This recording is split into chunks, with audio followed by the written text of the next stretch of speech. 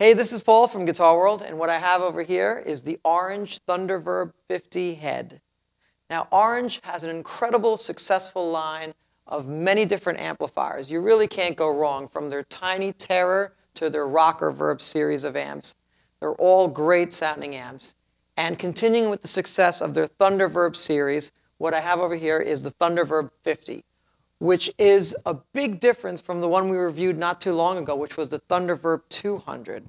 And as you can guess, it's the amount of output power. So this is the 50 watt job, whereas the other one was a 200 watt job. A lot of watts, especially if you're not playing arenas. So this one's a bit more manageable, and it's essentially the same as the Thunderverb 200, but it has a more British flavor, and it's really cool. So let's take a closer look at the Thunderverb 50. The Orange Thunderverb 50 has two EL34 tubes which contribute to its classic rock sound, but no doubt you can get some metal flavors out of this amp. It is essentially a two-channel amp separated by channel A and channel B. Now channel B has the more uh, gainier voice to the two channels, but you can also alter it to get more of a strong mid-range and a great solo tone out of this channel. Let's take a look at all the knobs from left to right. Over here, you have your standby switch, and over here, you have the channel selector switch. Right now, I have it on A. The key to the Thunderverb series is the attenuator knob, which allows you to really soak the power tubes, but keep it at manageable levels.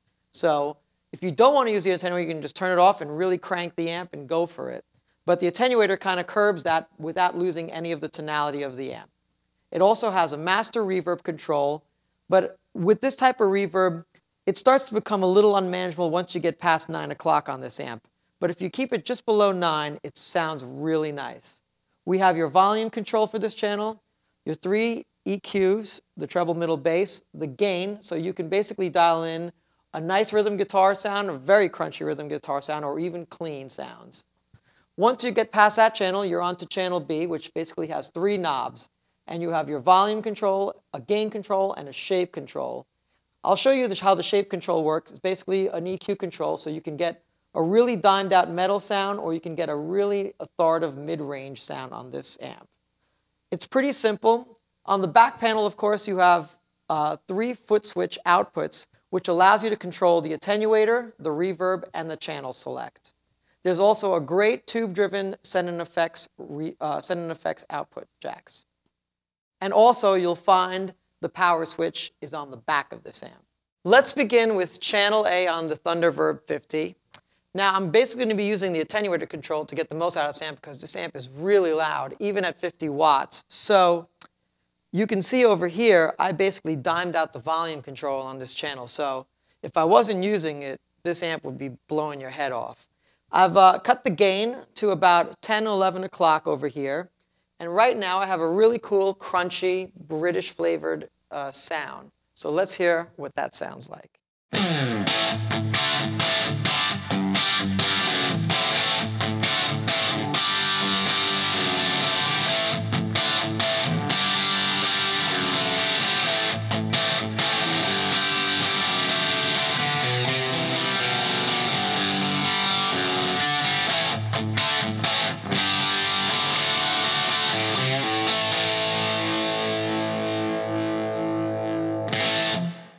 So that was a great medium gain. What I'm going to do is I'm going to bump up the gain on this channel so you can really hear how much gain is on tap on channel A.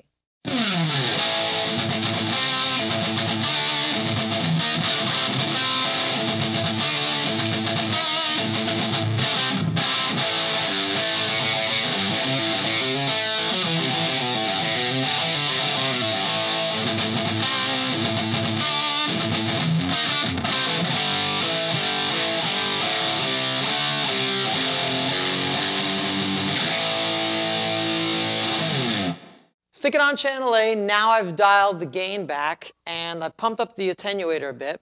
And uh, what I have now is a pretty cool, clean sound out of this amp. So let's hear what that sounds like.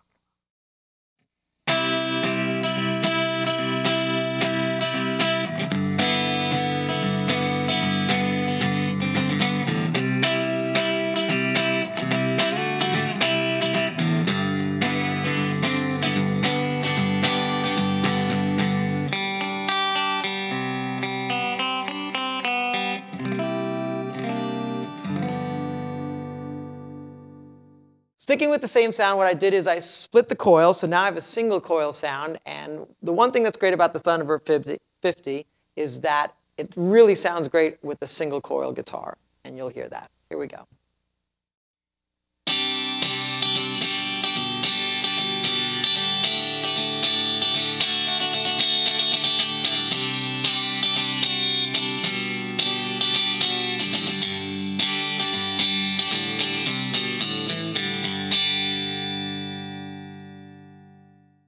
So that was channel A. Now let's move over to channel B, and that is as simple as hitting the channel select switch over here. And of course, like I said before, if you had the foot switches, you can just whack into those foot switches and instantaneous foot switching. So over here, channel B has only three controls, the gain, volume, and shape. And of course, what's great between the two channels, you can set separate volumes. But let's hear how the shape control works on this channel. And uh, right now, same thing as I have an attenuator on this channel because this amp is crushingly loud. So let's hear what this channel B sounds like uh, on its own.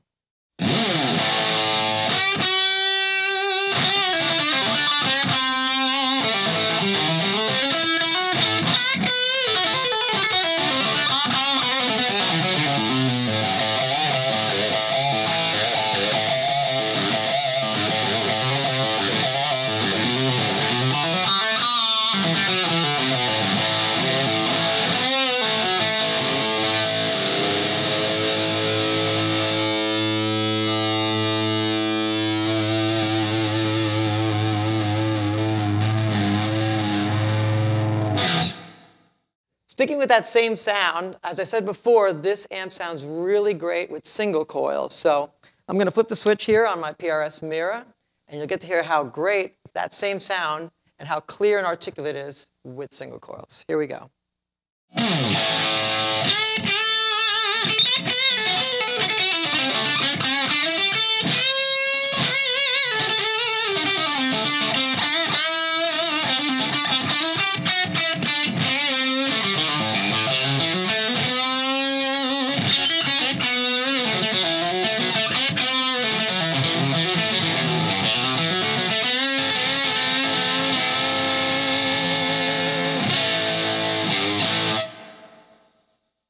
Now, sticking on the same channel, what I'm going to do is I'm going to start moving the shape control so you get to really hear how the tone really shifts as I move it. So let's start with the same sound, back to humbuckers.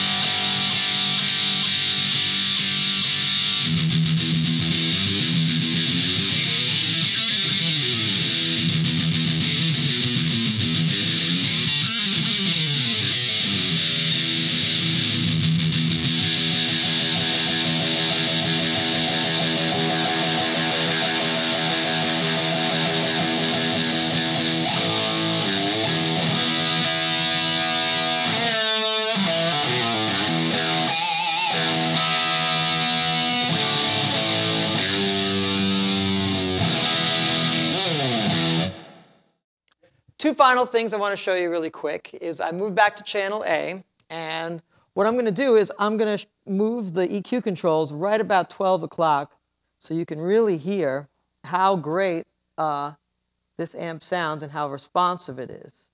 So let's hear. This is everything at 12.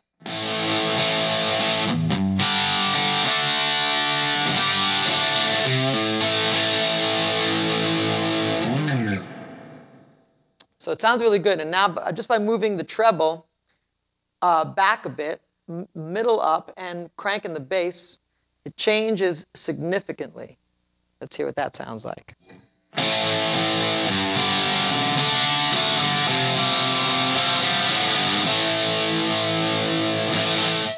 And now the last thing, of course, is the reverb control. As I said before, once you get past 9 o'clock, it becomes a little unusable, but it's still a very deep sounding reverb. So right now I have it at 9.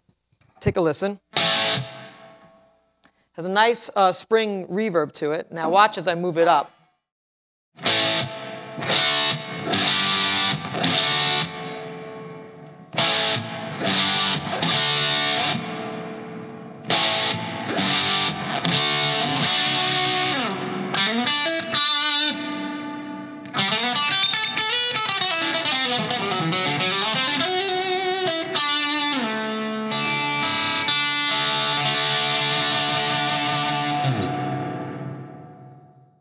Orange's Thunderverb 50 is a well-built and well-conceived British amplifier.